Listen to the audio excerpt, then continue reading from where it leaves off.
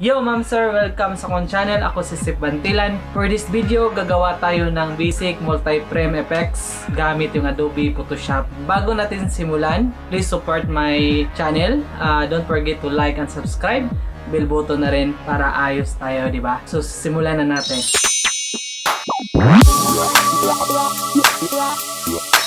Yo ma'am sir, so magsisimula na tayo. Uh, duplicate background layer.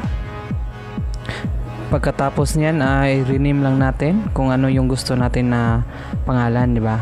So para madali nating mahanap yung layer na yan.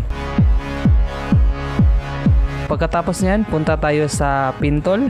Tapos pili natin yung path, uh, i-separate natin yung model sa kanyang kan sa background.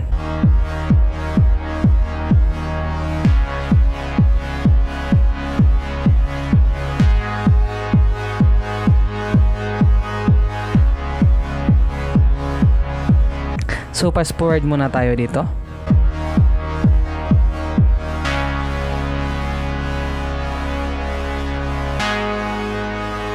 Ayan, so pagkatapos may pagdugtong, uh, mix selection.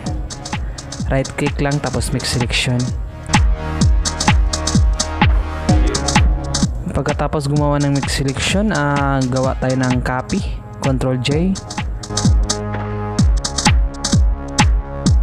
So, separate na yung model natin sa background.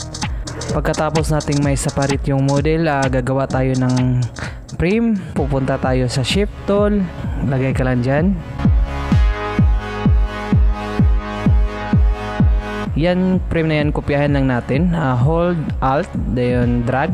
Pagkatapos, control T, hold, alt, shift para sabay silang tataas or mamumove. Tapos, yan yung gagawin natin sa iba pa. So, ikakopy lang natin yung mga shape na yan para makagawa tayo ng frame. So, fast forward na tayo ulit ito.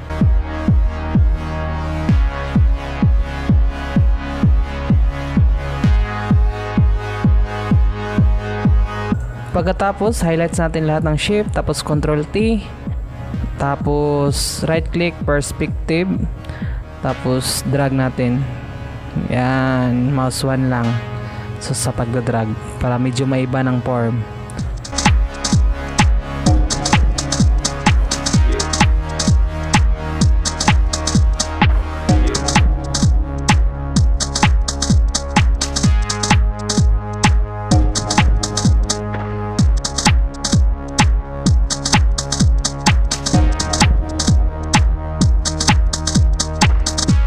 Next na gagawin natin is uh, control E natin para i-merge natin yung lahat ng shift.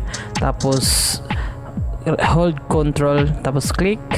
Yan meron na tayong selection. Tapos control J for copying.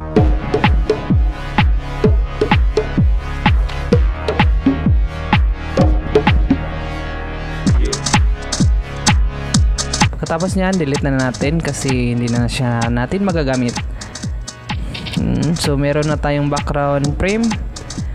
Uh, group natin tong dalawa. Yan, tapos control G, copy na naman. Tapos control E para merge. Yan, rename natin. Ano bang uh, final frame. So yan, rename natin ng final frame. Tapos punta tayo sa crop tool. Uh, i-adjust natin ng konti yung layer natin.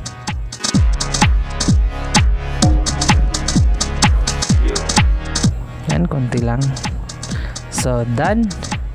Pagkatapos punta tayo sa final frame natin. Pagkatapos control M tayo per curve.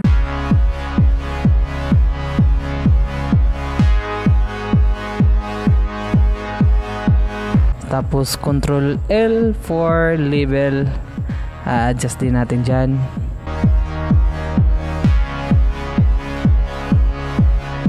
Next, punta tayo sa image, adjustments, tapos selective color. Ayan. Tapos i-adjust natin yung color niya dito. Tapos fast forward naman tayo.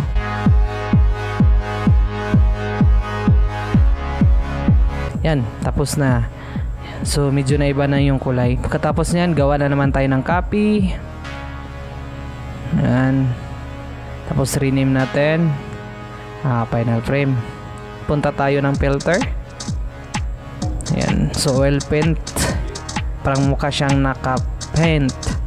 Di ba? Uh, fast forward again tayo dito.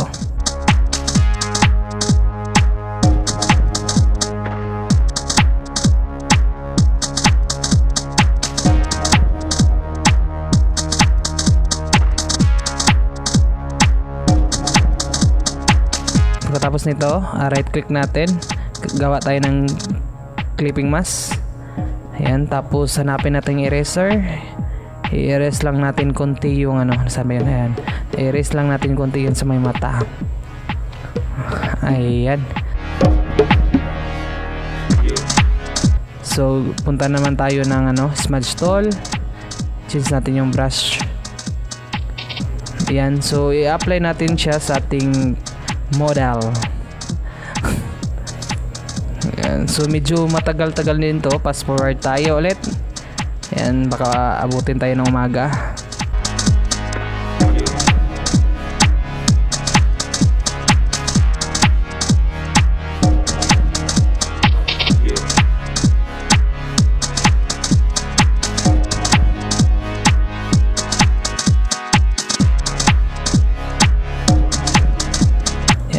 So, pagkatapos ng smudge tool, ah, punta tayo sa final frame. Ah, group natin yung dalawa. Mm, emerge muna na ah, group. Tapos, gawa tayo ng copy ulit. Rename natin. Final. Final. Lagi lang tayong ng final nito.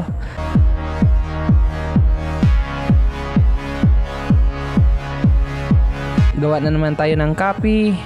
Ganun pa rin. Tapos control E natin.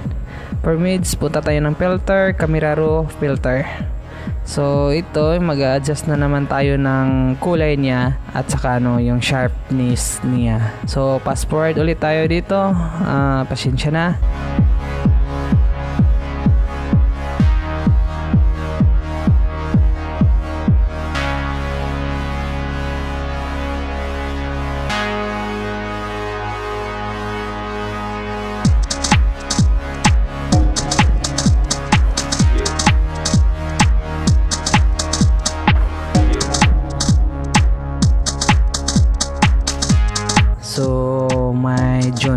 siya ng konti. Mhm. Tapos, control M. Adjust natin yung contrast.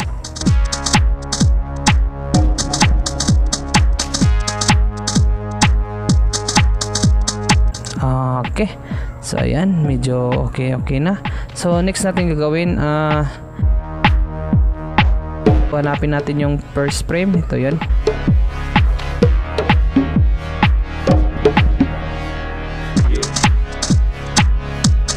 yan. So, arrow key para ma ano ma-move natin yan.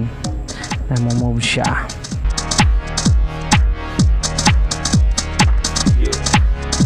Pagkatapos nito, uh, double click natin tapos punta tayo sa gradient overlay. Ayan. So, para malagyan natin ng ano, kulay. Para magmumukhang box siya, di ba? Naka-box. Tapos yung kulay, ganun. Diyan, piliin lang kayo kung ano yung gusto nyo. Yun yung gusto nyo. So, ipipix natin yung sa may kilid. Pupunta tayo ng pintol.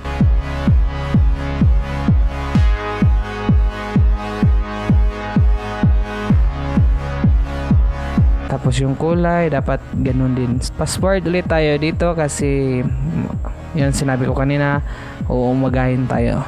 So, relax muna.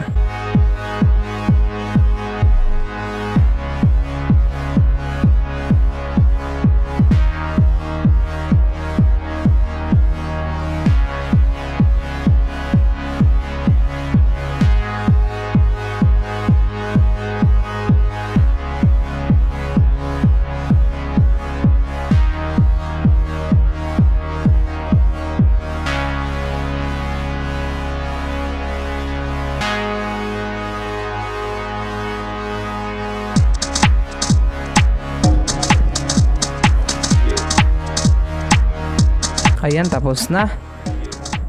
So, ayan.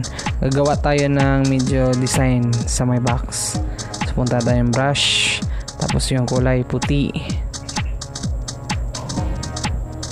Apply lang natin. Dapat naka-clipping mask to. So, i-merge muna natin itong dalawa. Merge. Mm. Pinag-isa natin. So, tapos clipping mask.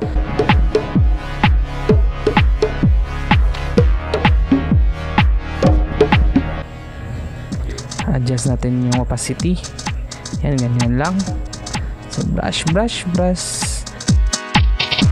Yan punta tayo ng blur. Blur natin.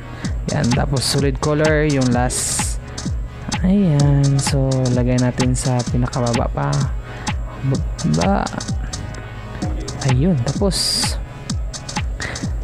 ayan tapos na. Ayun mga ma'am sir, thank you for watching. Hope nagustuhan ninyo. Sana din may natutunan kayo sa akin ngayon. Kung nagustuhan niyo tong video na to, uh, give thumbs up. Kung hindi naman, please comment down below para ma-improve yung paggawa ko ng mga video. Kita-kita ulit tayo sa susunod kong upload. Ako pa rin si Sipantilan. Bye-bye!